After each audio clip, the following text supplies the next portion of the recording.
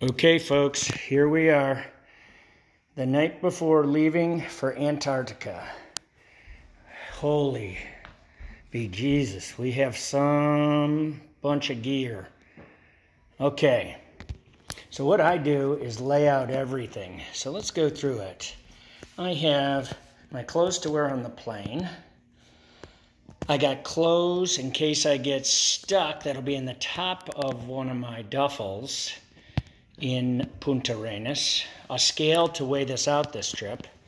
This backpack always goes with me. I carry, you know, passport and uh, headphones, some snacks, a toiletry kit. That secondary toiletry kit, the black one, goes with this. Patagonia, Patagonia. Nice. Okay, let's start with undergear. I'm bringing four different lightweights for uh, that'll be my base next to my body. Then I have three various weight mid weights and also a mid-weight hoodie that should be over in this pile. That's one of my most critical pieces, the mid-weight hoodie. Socks.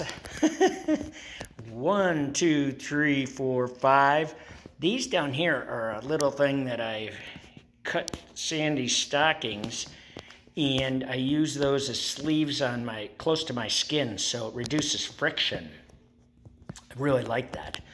That heavy pair of socks right there, I use those at nighttime in my uh, down booties and in my bag. Of course, this is uh, my uh, charger right here. Love this thing. Goal Zero.